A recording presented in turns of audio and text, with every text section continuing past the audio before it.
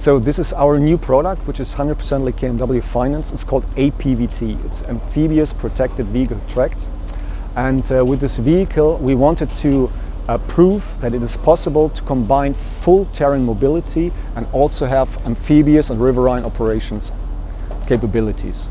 So, which means uh, our vehicle has got uh, the potential to float in one direction and the tail is completely optimized to float through the water with an optimized uh, resistance, flow resistance. And the other side is the driving side, which is optimized for driving operations. So the driver and the commander sitting on the front really have the full view and they can see anything without any obstacles uh, visually.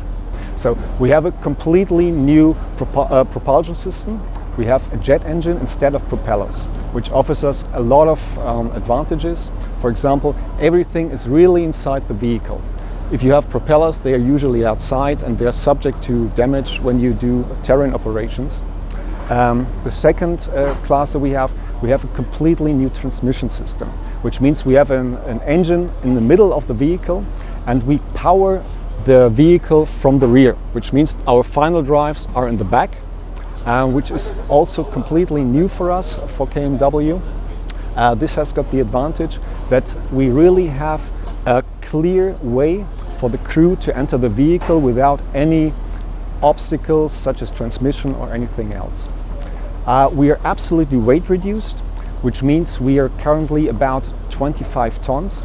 Uh, we have float capability until 31 tons, which offers a tremendous weight increase. We can add uh, components, we can add equipment, and we have an upload uh, payload upload capability of up to five, six tons, which is absolutely superb for this vehicle. When we have finished the vehicle um, from construction site, we have been testing this vehicle uh, in May this year. Uh, we have been in operations, uh, land operations, really rough terrain. Uh, we've been swimming in the river of Donau um, and this vehicle performed extremely well.